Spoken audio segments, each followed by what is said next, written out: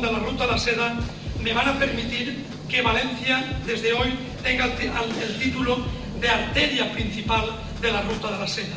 Es el referente, el faro en el Mediterráneo Occidental, ya que tenemos aquí al representante de la autoridad portuaria, el faro en el Mediterráneo Occidental de la Ruta de la Seda.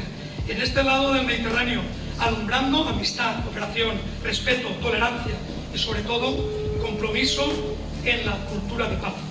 En ese sentido, creo que mi responsabilidad en este tan bonito cargo honorario, lo recuerdo, que hoy se me concede, va a ser seguir trabajando en esa línea de colaboración que se inició hace más de 600 años. Cooperación económica, cultural, universitaria, académica y educativa entre Uzbekistán y España, entre Samarcanda y Valencia, desde el corazón de la ruta hasta la arteria principal que es Valencia y somos los valencianos. En una palabra muy sencilla, confianza, lealtad y amistad. No puedo prometer otra cosa que desde el consulado honorario de Uzbekistán en Valencia. Cooperación, colaboración, amistad, lealtad y sobre todo seguir trabajando como siempre lo he hecho por Valencia.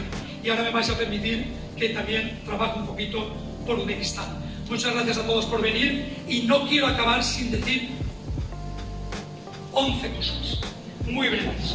Gracias, gracias a Vives Marín, a Castillo Cinceladores, a Artantic, a la Compañía Valenciana de la Seda, a Tejidos Martual, a Mediterránea Productos de Limpieza, a Agritecno Aginomoto, a la Asociación Cultural del Camino del Santo Real, al despacho de abogados de Marta Mover, a Mediterránea Shipping and Company y al Instituto SEDA España, sin los cuales no hubiera, hubiera, sido posible estar hoy aquí juntos y sobre todo, sin ellos hubiera sido imposible que hoy hubiera llovido en Valencia. Muchas gracias.